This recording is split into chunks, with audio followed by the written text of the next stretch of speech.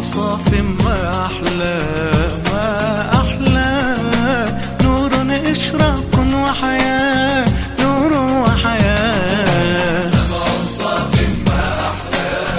ما أحلى.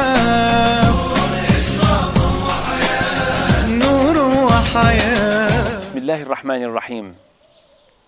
من أخلاق رسول الله صلى الله عليه وسلم مع أصحابه أنه كان كريما وليس مستغلا. فهو الذي فدوه بالمال وفدوه بالروح فضلا عن المال.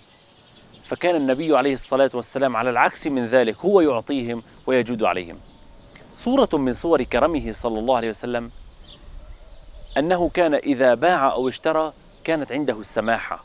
وهو القائل صلى الله عليه وسلم كما عند البخاري رحم الله امرأ سمحا إذا باع سمحا إذا قضى سمحا إذا اقتضى. يحكي لنا سيدنا جابر رضي الله تعالى عنه وقد غزا مع النبي عليه الصلاة والسلام عدة غزوات من جملتها غزوة تبوك. خرجوا بعد أن قفروا من غزوة تبوك خرجوا في الطريق وإذ بجمل سيدنا جابر يبطئ عن باقي الجمال. فأخذ النبي عليه الصلاة والسلام محجنه العصا الصغيرة محجنه ونخز الجمل نخزة فجعل النبي فجعل الجمل يمشي ويسرع حتى سيدنا جابر يقول أصبحت أكفه يعني حياء من رسول الله صلى الله عليه وسلم أن يسرع ويمشي أمام رسول الله عليه الصلاة والسلام. فالنبي عليه الصلاة والسلام في هذا الأثناء في هذه الأثناء يداعب سيدنا جابر ويسأله عن أحواله الخاصة بالعمق. يا جابر تزوجت؟ قال نعم يا رسول الله. بكرا أم ثيبا؟ قال بل ثيب يا رسول الله. قال هلا بكرا؟ تداعبها وتداعبك. فحكى له بأن والده بما أنه استشهد يوم أحد سيدنا عبد الله بن حرام رضي الله تعالى عنه. أخذ امرأة متزوجة ناضجة بحيث تقوم على خدمة هؤلاء البنات تمشطهن وتعتني بهن. فقال النبي عليه الصلاة والسلام سيدنا جابر بارك الله لك بهذا. برك له على موضوع زواجه. والنبي عليه الصلاة والسلام يمشي في الطريق ويتكلم مع سيدنا جابر. يا جابر أتبيعني جملك هذا؟ قال أبيعه يا رسول الله. قال بكم؟ قال بأوقية. فباعه بأوقية. يقول سيدنا جابر فاشترطت على رسول الله صلى الله عليه وسلم الحملان إلى المدينة.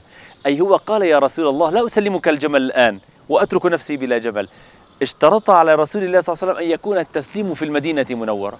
قال لك ذلك. وصل النبي عليه الصلاة والسلام مدينة. وسيدنا جابر وصل بعده. فرآه عند باب المسجد. قال آه الآن وصلت؟ قال الآن وصلت.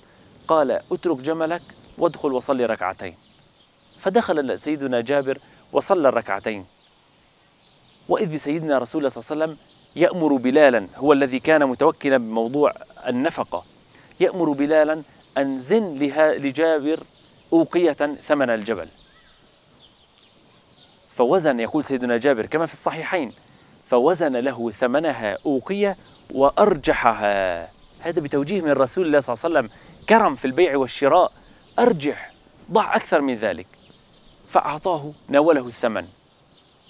وأخذ سيدنا جابر ومشى. ترك الجمل عند رسول الله صلى الله عليه وسلم ومشى ما أنه باعه وسلمه. بعد أن قفل فناداه النبي صلى الله عليه وسلم يا جابر. فقال سيدنا جابر في نفسه الآن يرد علي جملي. فجاء إلى النبي صلى الله عليه وسلم يسأله قال خذ جملك وخذ الأوقية. كرم في البيع والشراء ما عرف قبله قط. فإذا ما رأيت في صحابته الكرام رأيت عثمان وقد جاد وجهز جيش العسرة من ماله وسيدنا أبو بكر جاء بكامل ماله وسيدنا عمر جاء بنصف ماله فاعلم أنهم درسوا في مدرسة أكرم الكرماء صلى الله عليه وسلم. فدتك أبي وأمي يا سيدي يا رسول الله. هذا نبيك يا بني فتعلم منه الكرم.